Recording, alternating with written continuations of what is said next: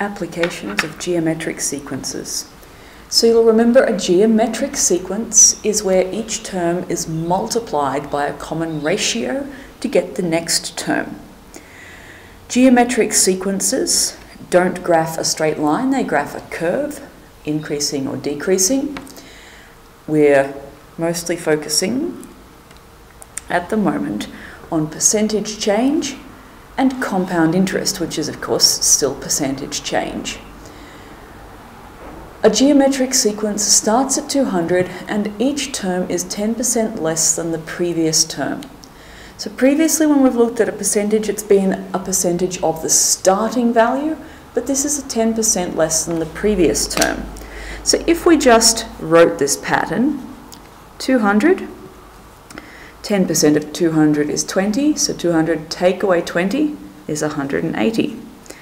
10% of 180 is 18, so 180 take away 18 is 162. And that would keep going. So you'll see it's not taking away a fixed amount.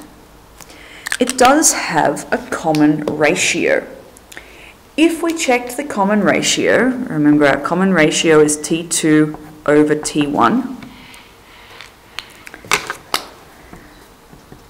So 180 over 200.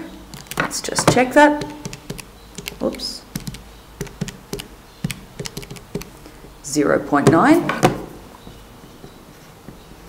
And we could also check that for the next one if you wanted. T3 over T2. 162 over 180. We don't have to do this every time, I'm just showing you we've got a common ratio. 0.9. So you can see that this percentage reduction pattern has a common ratio. And if you're feeling very clever, you'll notice that 10% less than amount than an amount if I had 100% minus 10%, I'd get 90%, and 90% as a decimal is 0.9. So the common ratio of a percentage change can be calculated by 1 plus or minus the percentage as a decimal. I'll write that down. So for increase.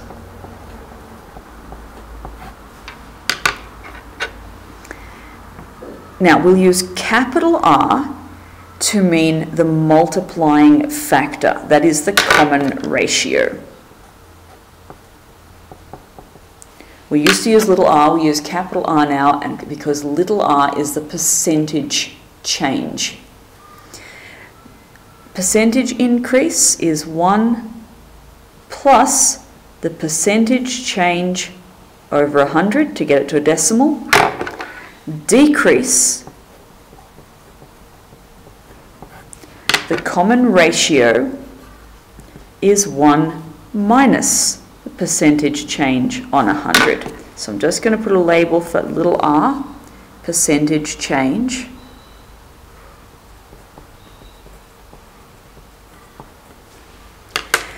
And just like we've been doing um, over and over again, our pattern can simply be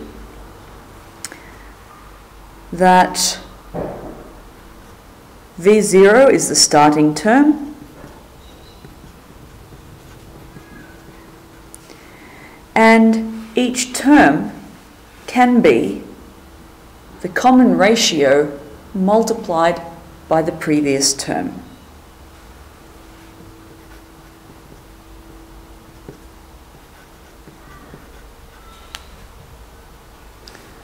So there's a bunch of information in there, but none of it should be new to us. We should have done this part here when we did compound interest last year. And this is just reducing by a percentage instead of increasing. Speaking of compound interest, we have to be able to do that. Now, compound interest we're used to using the compound interest formula. The amount equals the principal times 1 plus the interest rate on 100 to the power of the number of time periods. See that there? That's R. That's your common ratio. We just looked at it. We're used to that formula, but we need to be able to write compound interest as a recurrence relationship because it's really just a percentage change every time period. So you'll remember that we've got A, P, R, and N that is the amount in the bank account. This is the principal. This is the percentage per time period. And this is the number of time periods. Oh, I don't know why the pink, I, why did I decide to use pink? Sorry. Because I just wanted to remind you that this exists, that we've learned how to use that formula. A recurrence relationship, though, we'll need to have a rule for that. V0 is our starting amount, so that's our principal. And this exact formula here, because compound interest is just percentage change, Vn plus 1 is V or R times Vn, and R, our rate of our ratio, our common ratio, is 1 plus the interest rate over 100. It's exactly the same as percentage increase or decrease. Compound interest is percentage increase.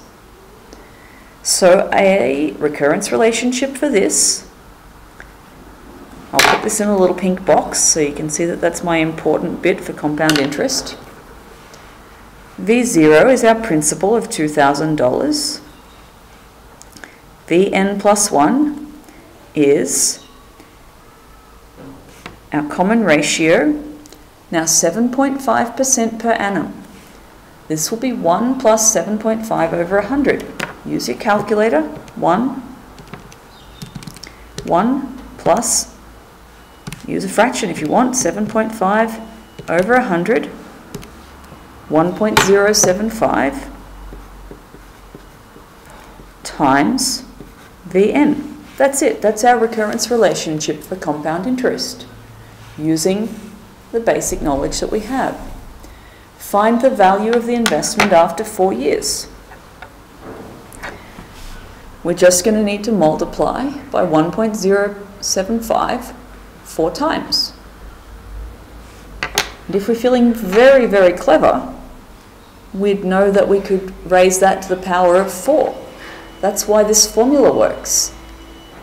The starting amount multiplied by the common ratio to the power of the number of years we've got. 2000, hit enter, times 1.075. Year 1, year 2, year 3, year 4. That's it. Or, of course, you could have used a power.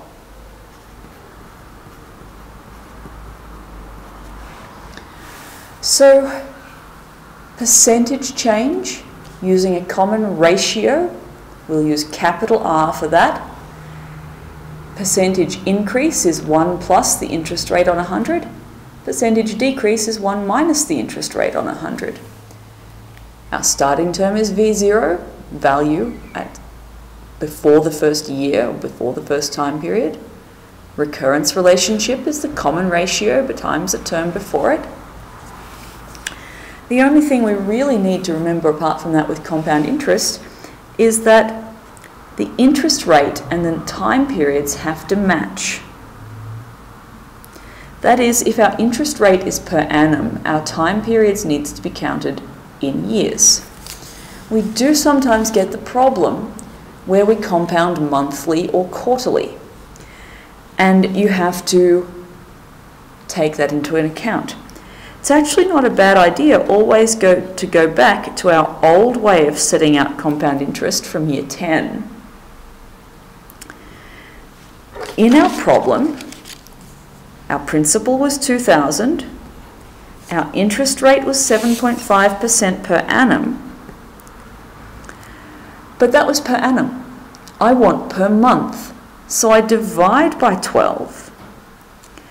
But then I have to do the opposite here. It was four years, but to get the number of months in four years, I times by 12. So I've got 48 months, and you might as well just leave this as 7.5 over 12, because you're going to have to, otherwise you'd have to round. So when it's monthly or quarterly or whatever compounding, you've got to change the number of time periods and the interest rate both into months or quarters or whatever it was.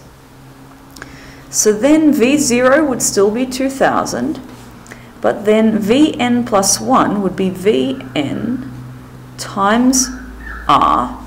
And to get my R, that's 1 plus the interest rate on 100. So that's going to be a much trickier calculation there. 1 plus 7.5 divided by 12 divided by 100. 1.00625. Don't go rounding.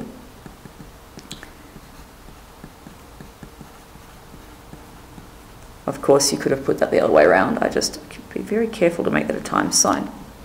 So that's your new recurrence relationship when it's compounding monthly.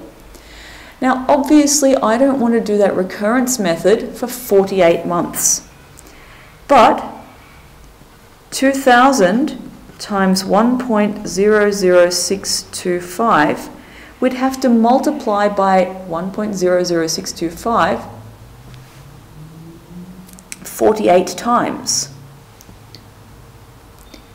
So, you think times it by 1, times it by 2, times uh, like, like times it again and again and again, you can just do to the power of 48 and you'll get your answer. 2000 times 1.00625, oops, to the power of 48. I didn't want a square root.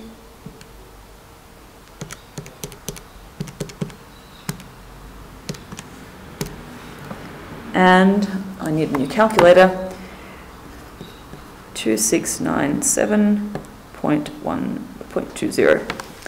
So, this is a bit of a, a curveball question, but we do need to be able to deal with monthly compounding for our recurrence relationships.